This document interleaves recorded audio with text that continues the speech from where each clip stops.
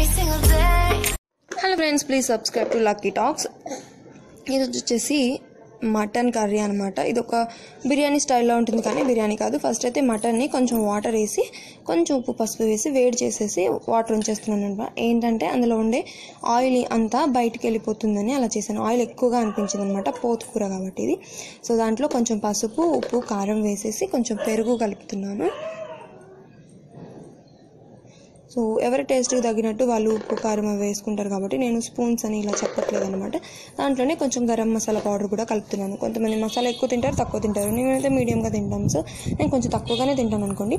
ధనియాల పొడి ఇంకా అల్లం వెల్లుల్లి పేస్ట్ అయితే ఇంట్లో పట్టింది అయితే ఇంకా మంచి టేస్ట్ ఉంటుంది. సో అల్లం వెల్లుల్లి పేస్ట్ ఇంకా కల్లుప్పు వేసాను అనమాట అంటే రా రా రా సాల్ట్ దాన్ని వేసేసి కలిపి ఒక పక్కకు పెట్టేశాను. ఒక వన్ అవర్ నాననిచ్చాను. ఆ తర్వాత వన్ అవర్ కాదు టూ అవర్స్ దాకా నానిపోయింది. ఆ తర్వాత ఒక ప్యాన్లో ఆయిల్ వేసేసి అందులో చెక్క మొగ్గ ఇంకా బిర్యానీ ఆకులు వేసేసి అవి లైట్గా ఫ్రై అయ్యాక అందులో ఆనియన్స్ పచ్చిమిర్చి టమాటాలు కూడా వేసి ఫ్రై అవ్వనిచ్చాను లైట్గా ఫ్రై అయ్యే టైంలో నేను దాంట్లో మళ్ళీ నేను పట్టు పెట్టుకున్న అల్లం వెల్లుల్లి పేస్ట్ ఇంకా ఒక ఇలాచి దంచి వేసాను అనమాట అందులోనే కొంచెం కొత్తిమీర కూడా వేసేసాను. కొత్తిమీర లాస్ట్లో వేసుకుంటారు బట్ ముందులో వేసుకుంటే ఏంటంటే కర్రీలో కూడా ఉడికిపోతుంది కాబట్టి అది మంచి టేస్ట్ ఉంటుంది. ప్లస్ మనకి హెల్త్కి కూడా మంచిది. ఆ తర్వాత మటన్ కూడా వేసేసాను. అవంతా ఫ్రై అయిపోయాక మటన్ ఆ గిన్నెలో కూడా కొంచెం వాటర్ వేసేసి కలిపి దాంట్లో పోసేసాను అనమాట ఇంకా వేరే ఏం వాటర్ వేయను అనమాట దాంట్లో.